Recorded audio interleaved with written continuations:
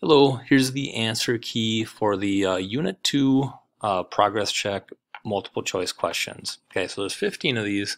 So question number one, on the basis of electronegativity differences between atoms, which of the following scientific claims is the most accurate regarding the bonding in MgNO32? Okay, so choice A, there's a polar covalent bond between magnesium and nitrogen. Well, first of all, covalent bonds happen between nonmetals. Magnesium's a metal, so this one's not true. Uh, letter B, there's a polar covalent bond between magnesium atoms and oxygen. Well, again, magnesium's a metal. Covalent bonds happen between nonmetals, so that eliminates uh, B also. There's an ionic bond between N positive 5 ions and O negative 2 ions. Okay, so again, now there was a ionic bond between N positive 5 and O negative 2. Well, N doesn't form positive 5 ions, so this one is not true. So that leaves D. So there's ionic bonded between magnesium positive 2 and these nitrate negative 1. So ionic is between uh, metals and a negative ion. So it's going to be D.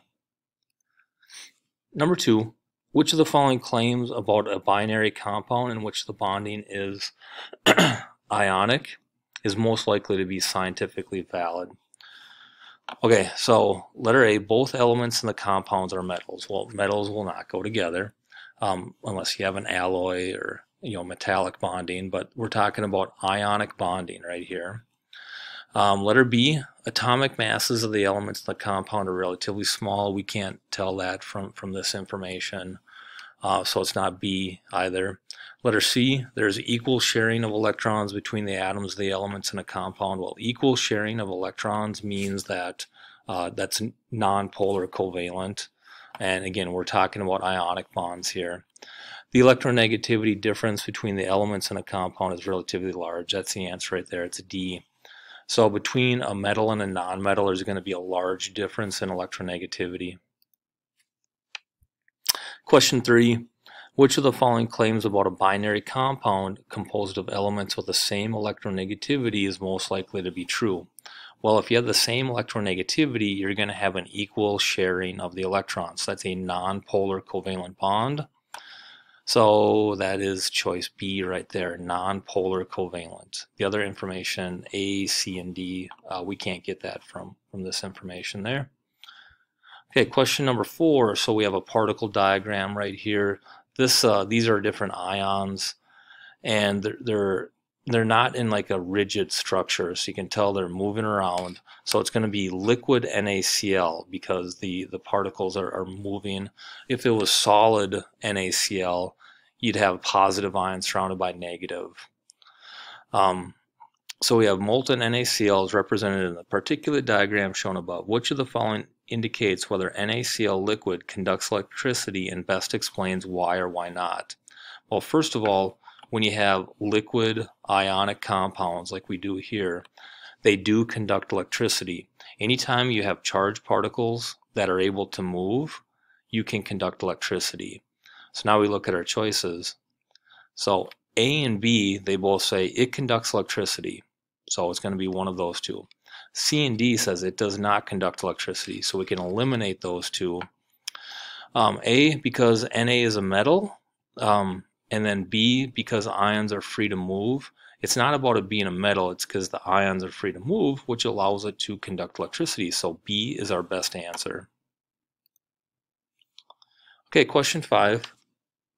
So we have a particulate level diagram shown above. Um, best helps explain which of the following properties of an ionic solid. So here's an ionic solid, positive surrounded by negatives. Um, you don't have like charges that are next to each other. So what happens here, you have a force being applied, so it's displacing these ions, so you get negatives next to each other, positives next to each other, and what happens is they will repel and then they break apart. So that is brittleness. Brittleness means that if they're hit with some force, they tend to break apart, not bend. Malleable means that you can you can pound it into a thin sheet or you can hit something and it gives, it doesn't break. Brittleness is when you hit something, it breaks, but it doesn't bend. So this is talking about B brittleness here on this one. Question six, the particles in solid KI, a stable ionic compound, are arranged to maximize Coulombic attractions while minimizing Coulombic repulsions among the particles. Which of the following best, uh, which of the following diagrams best represents the structure of solid KI? All right, so to maximize attractions, we want to have oppositely charged particles next to each other, and we want to keep like charged particles away from each other to minimize Coulombic repulsions. So with choice A, we have this right here. We don't have any positives and negatives right next to each other. With B, you have positives next to each other, negatives next to each other, so there's going to be a lot of repulsion between those. They would separate apart. Same thing in C, positives and negatives are next to each other, and positives and negatives are next to each other. So we want choice A.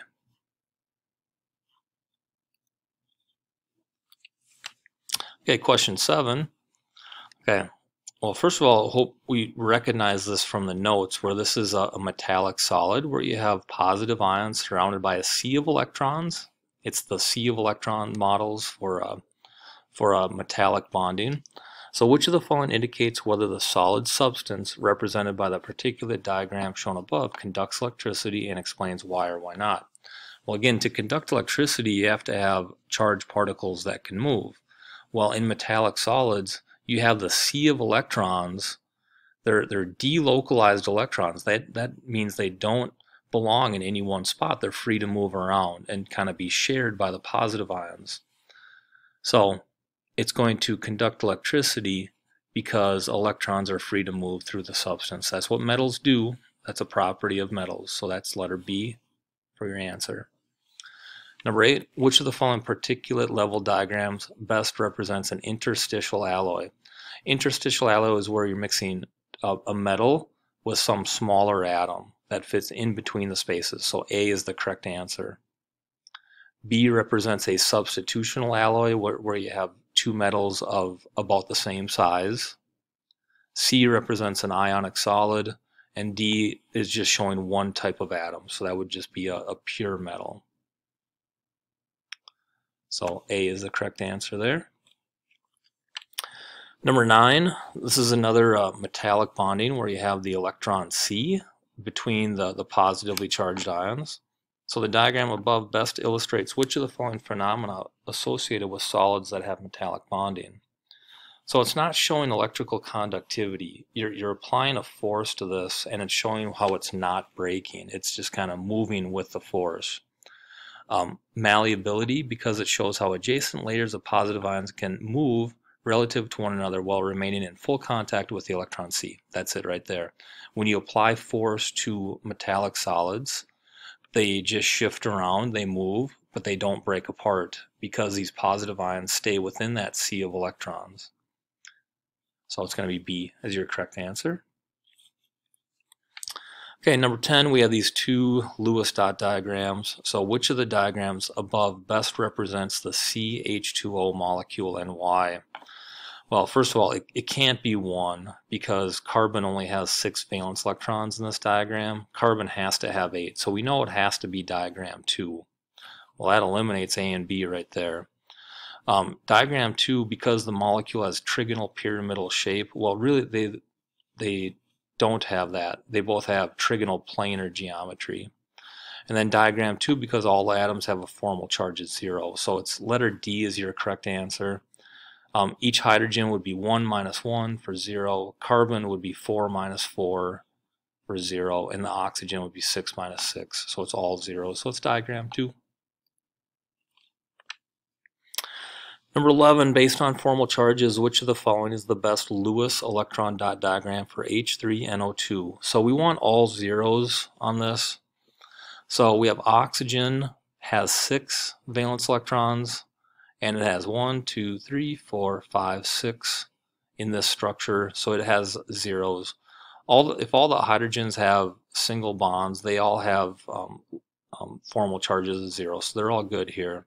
And nitrogen has five valence electrons in the periodic table. And in the structure here, it has one, two, three, four, five. So it also has a formal charge of zero. So um, this has all formal charges of zero, so it's going to be choice A. letter B, C, and D, we end up with formal charges that are not zero for oxygen and nitrogen, so it's not going to be those. Okay, question 12. Which of the Lewis diagrams shown above is the most likely structure of CO2 and why? Um, it's going to be the one on the left, diagram 1, because um, formal charges again. So each oxygen is going to be 0 because you count um, the lone pairs, count towards that atom, and half of the shared pairs. So each oxygen is 6 minus 6, and then carbon has 4 valence electrons, subtract 4 from the shared shared electrons. So they have all zeros. In this case right here, diagram 2, you do not have formal charges of 0 for the two oxygens. So diagram 1, because all atoms have a formal charge of 0. So choice A. 13. Which of the following Lewis diagrams represents a molecule that is polar? So to be polar, we want to have lone pairs of electrons on the center atom um, and or a lack of symmetry. Lack of symmetry and, and uh, differences in electronegativity. Now on these Lewis diagrams, instead of dashes, they have just pairs of you know, dots between the two atoms to represent the shared pair. So this is a shared pair, this is a shared pair, this is a shared pair. These are not, that's not lone pairs of electrons on the boron. So this one is symmetrical, so it's going to be nonpolar. Um, this one is symmetrical, so it's also going to be nonpolar. This one does not have symmetry, even though there's no lone pairs on the center atom. The outside atoms are not the same, so this does not have symmetry. And then you have a difference in electronegativity, so this is going to be a polar molecule. These are both the same atom, so it's going to be um, it's going to be a uh, nonpolar. So the answer is C. Okay, which of the following correctly compares the length of the two carbon-to-carbon -carbon bonds in the molecule represented in the Lewis diagram shown above? Okay, so double bonds are stronger than single bonds, and stronger bonds are shorter. So this double bond is stronger and shorter, this single bond is weaker and longer. So we're comparing the, the strength. So the one on the left is going to be a stronger bond. So the carbon-carbon bond on the left is stronger because it's a double bond. So it's going to be choice A right there. The carbon-to-carbon -carbon bonds are the same strength. They're not. Double bonds are stronger than single. Letter, uh, letter C, carbon-to-carbon -carbon bonds are the same strength because they're both bonds between carbons. Well, no, they're, the double bonds are stronger. And then this one says the carbon-to-carbon bond on the right is stronger because there's more hydrogen atoms. That doesn't really have anything to do with it, so um, it's going to be A. Okay, and then the last one. And again, this is another situation where in the Lewis diagram, the dots between the two atoms represent a shared pair, so it's dots rather than a dash. Don't be confused by that. So based on the Lewis diagram for NH3, um, the H and H bond angle is closest to which of the following. So four effective pairs around the nitrogen, that's the, the tetrahedron base geometry. So that's 109.5. Or another way to think of it is it's sp3 hybridization, and sp3 has bond angles based on 109.5.